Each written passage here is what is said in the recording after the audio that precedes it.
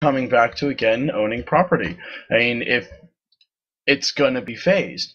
So, if we compare it to Skyrim, if you buy a piece of property and let's say it was in an MMO, most likely there's other players buying the exact same piece of property. It's just yours is phased.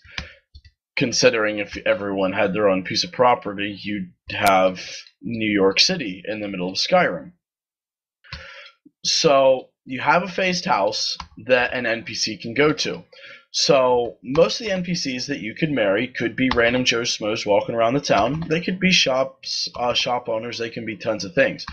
But no matter what the NPC is, every NPC in Skyrim and Oblivion, when it comes time for night, they go inside. They go to bed. They're not out walking around the town. So if you marry the blacksmith in town, and let's say I married the blacksmith in town as well, then when it nighttime comes, they just phase into whatever the house may be that is available for players to purchase. Does that See, make sense? That that makes sense, and I, I never thought about that. Now I've never played an MMO that really had phasing other than WoW and newer MMOs, but the newer MMOs don't have housing um, for some reason. The last MMO I played that had housing was Dark Age of Camelot, and I think they did a phenomenal job at that. I can't imagine a housing area that's phased.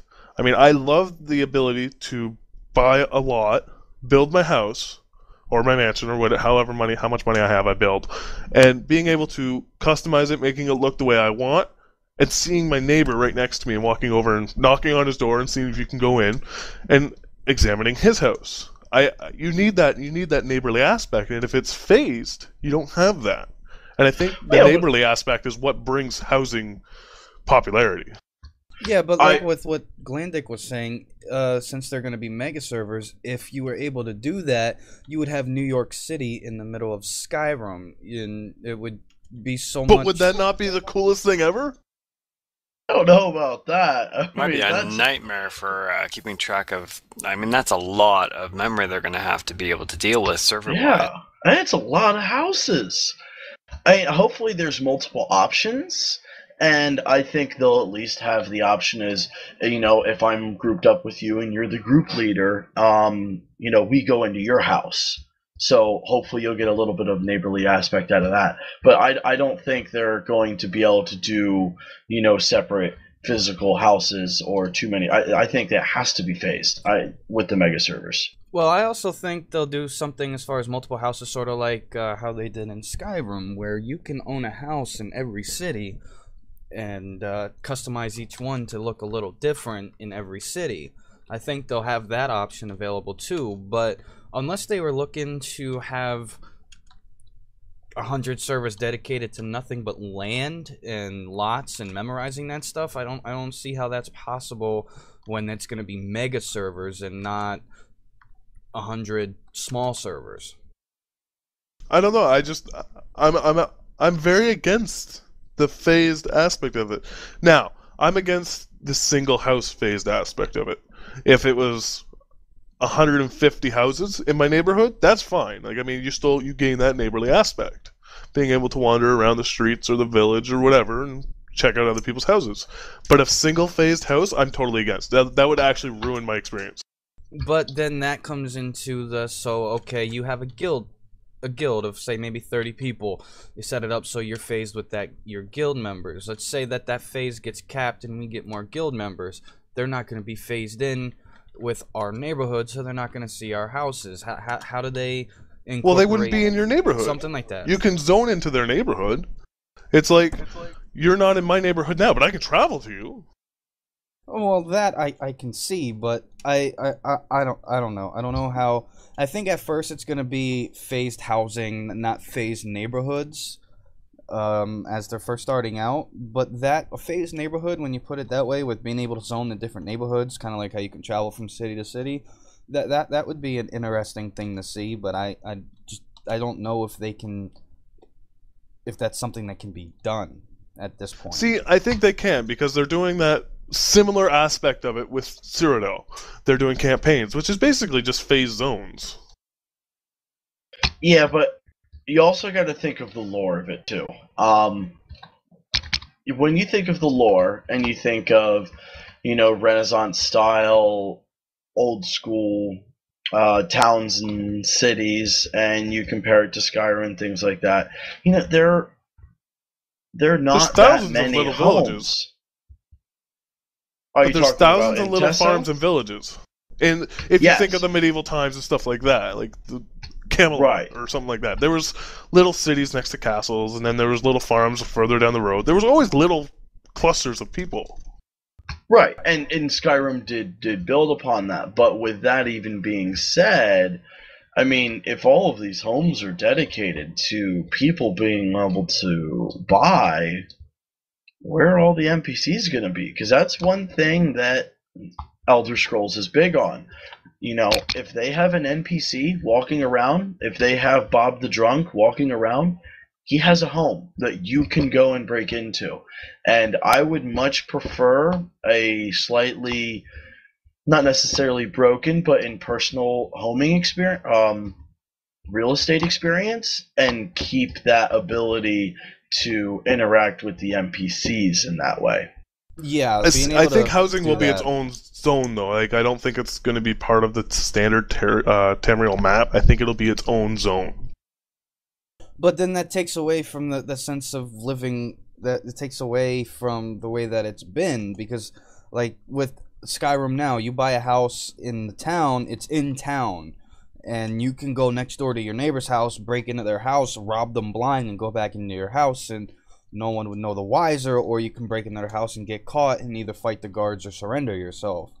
If it's zoned, it, it takes away from that sense of interacting with the with with the town. At, at least I would think so. I, I, I can I see your point, um, and I, I can agree that it, it kind of ruins the, the the aspect of the lore of it, uh, being able to go to your neighbors and stealing from your neighbors.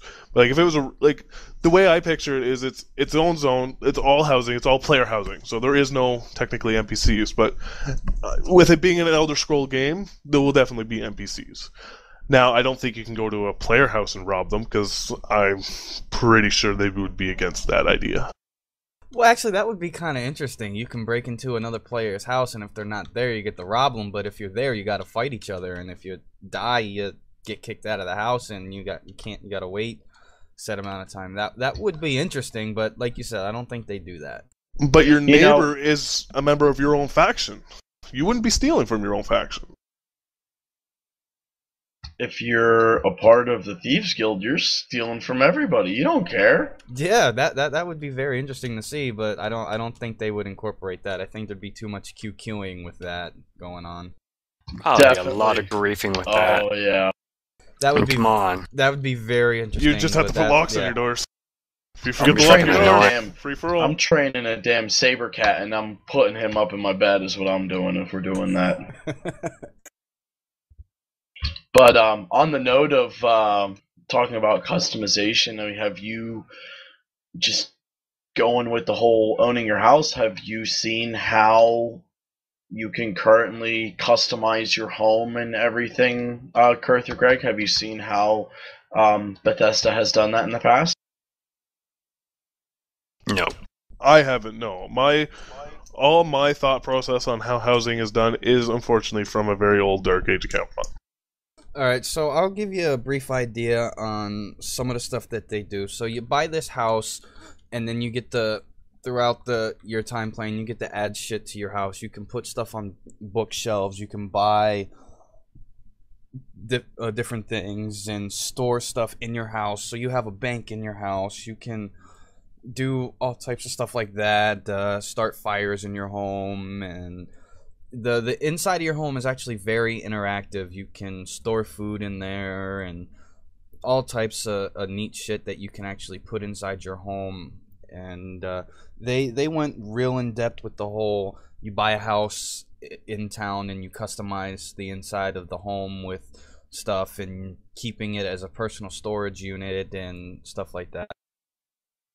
and and my favorite part about it is it it wasn't just this you know at the end of your bed chest that you put all your items in if you had food let's say you had some vegetables and garlic and you put them in your kitchen. They hung on your vegetable rack where you could actually see them and pick them off directly. If you put books in your bookcase you saw the books lined up on the bookcase.